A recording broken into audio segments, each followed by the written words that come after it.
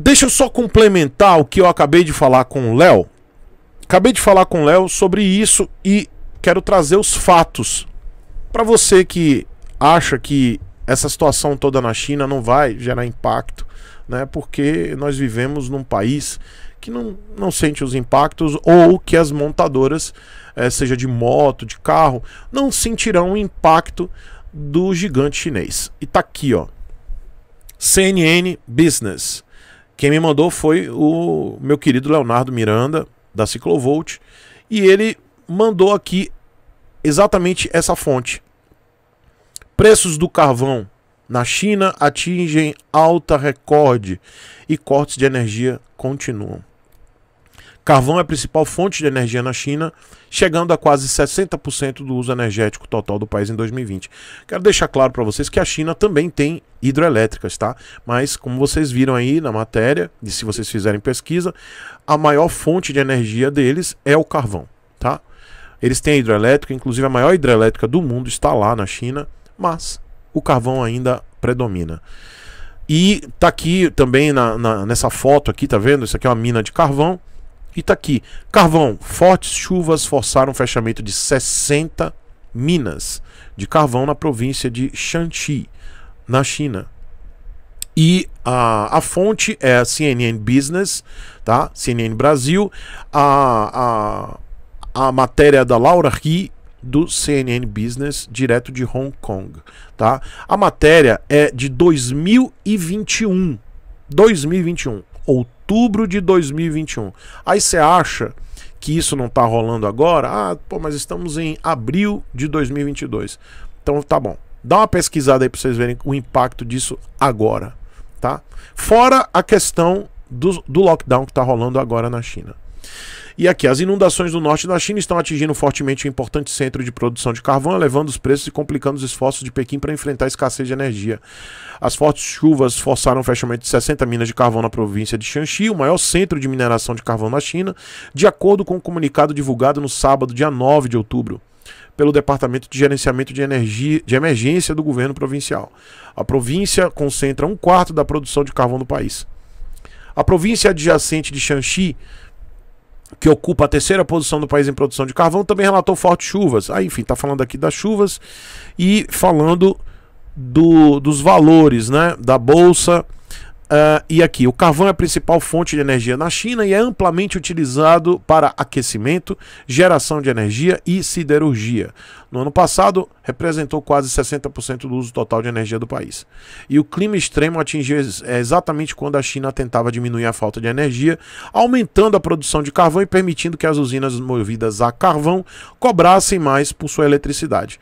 A escassez de energia é, é, espalhou para 20 províncias chinesas nas últimas semanas, ou seja, lá em outubro de 2021, forçando o governo a racionar a eletricidade durante o horário de pico em algumas fábricas suspender a produção. E aí vocês estão sentindo agora, vocês percebem que isso que aconteceu em outubro está batendo aqui agora, nesse momento. Tá? A gente está em abril e a gente está vendo várias montadoras parando, Mercedes-Benz parando, tudo isso, gente, afeta tá? Afeta. Uh, isso prejudicou a produção industrial e está pesando sobre as perspectivas econômicas da China. Por que a China está sem energia? A falta de energia é resultado de uma série de fatores que impulsionaram a demanda que reduziram o fornecimento. Uh, o fornecimento. Ao boom da construção industrial pós-pandêmica da China, que tem sido fortemente dependente de combustíveis fósseis, enquanto o esforço nacional para reduzir as emissões de carbono levou centenas de minas de carvão a fechar ou cortar a produção no início desse ano. Então é tudo que o Léo falou no, nosso papo, elevando o preço do carvão as restrições ao carvão do principal fornecedor da Austrália e as adversidades climáticas agravaram o problema. Aí fala que o verão mais quente, né, também levou um consumo maior de energia. E, enfim, eu quero, eu quero só fechar aqui é, para falar. Agora eu quero voltar ao presente. O que está acontecendo agora em abril de 2022? Essa matéria é de outubro de 2021 e que a gente está sentindo o impacto dessa, do racionamento de energia lá na China do, e, e toda essa problemática aí do consumo de carvão. A gente está sentindo agora com escassez de insumos. Né? E, e e também que também são produzidos na China, ok, gente? Mas o que está acontecendo agora? A bolsa caiu, tá? E as bolsas no mundo estão com, em queda, por quê? A China nesse momento está sofrendo lockdown. Algumas, algumas províncias estão com lockdown. A China está agora num, num, numa contenção severa, porque existem focos lá do, do Covid da Covid-19 e eles estão fazendo lockdown em diversas províncias, diversas cidades, províncias e algumas fábricas pararam produção e existe um medo global, um receio global de uma parada é, muito brusca da produção chinesa. Isso afeta o mundo, tá? Para quem acha que o mundo não depende da China, precisa se informar melhor. Então, Hoje, as bolsas, hoje, tá? Hoje, dia 25 de abril de 2022, queda nas bolsas e um receio global de uma parada brusca da produção chinesa. Isso impacta sim, e tudo isso vocês veem lá em outubro de 2021, com essa, eh, esse racionamento de energia, fechamento de algumas fábricas, eh, redução de produção, afetou agora em primeiro trimestre de 2022 e com essa, esse lockdown também irá afetar nos próximos três meses ou mais. Então, para você que está aí, é, como o Léo ele falou no bate-papo, você que está buscando comprar um veículo novo, isso não, não quer dizer que você não deva comprar. Não, é, não quer dizer que você deva ficar em pânico. Mas você tem que entender que se você tiver um problema de uma peça que tenha que ser importada ou uma peça que não tenha aqui no Brasil, você vai esperar algum tempo de um a dois meses. Existem centenas de relatos de inscritos, de pessoas que eu conheço, que estão com veículos parados nas concessionárias por falta de peça. Isso é comum. Não somente veículo, como laptop, coisas básicas. Às vezes você não tem nem um equipamento eletrônico, um roteador, é, uma peça de eletrônico, não tem um, um componente de um laptop, um componente de um celular, você não tem para pronta entrega. Então você tem que esperar isso ser produzido e importado ou importado. Isso está escasso. Então, para vocês entenderem que isso afeta toda a cadeia produtiva, tanto de um veículo quanto de um, um outro tipo de produto eletrônico ou não. Então, isso vai sim impactar. E o papo que a gente teve com o Léo, ele disse: se você tem um veículo, é seu, antigo, veículo que você já tem aí há cinco anos, o que quer que seja, mantenha esse veículo. Porque muitos desses veículos têm uma produção de peças paralelas aqui no Brasil. E não quer dizer que seja paralela, seja ruim, seja de qualidade ruim. Não, não quer dizer isso. Quer dizer que são peças licenciadas a serem fabricadas aqui no Brasil.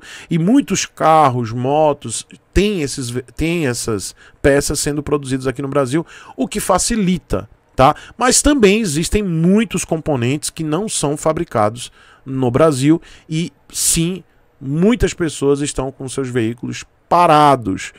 Tá? Vários inscritos aqui com relatos aí de peças, não somente de marcas japonesas, mas de marcas indianas, marcas é, americanas, europeias, norte-americanas, europeias, que estão paradas, motocicletas e carros parados porque não tem peças de reposição. Tudo isso porque a China parou. Só para vocês terem ideia, é, alguns meses atrás, a Royal Enfield ela teve que parar a produção de algumas fábricas. Acho que a Royal tem três ou quatro fábricas e algumas dessas fábricas pararam produção porque houve uma, uma, um lockdown lá na Índia por causa de um, de um surto de um, uma dessas variáveis e eles tiveram esse problema isso está sendo impactado até hoje.